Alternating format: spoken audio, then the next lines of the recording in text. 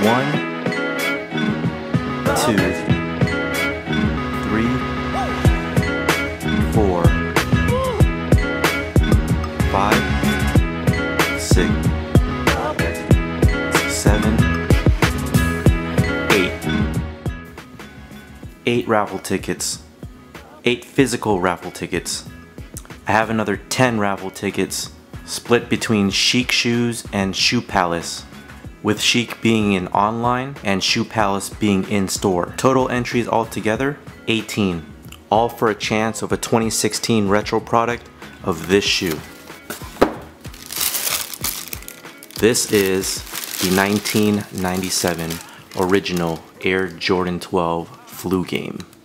Now of course my pair is dead stock, but in 2016 they are releasing again in retro form.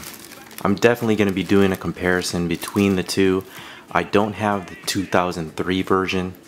A lot of people online have asked me why even go through the trouble of gathering all these raffle tickets just for a chance at copying the 2016 retro. Well, I do believe that putting in the legwork for the shoe is something that you should definitely take pride in. So if it's a shoe that I absolutely love, I'm gonna go after it.